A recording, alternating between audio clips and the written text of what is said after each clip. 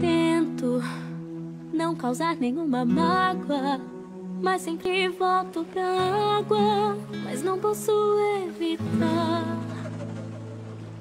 Tento obedecer, não olhar pra trás, sigo meu dever,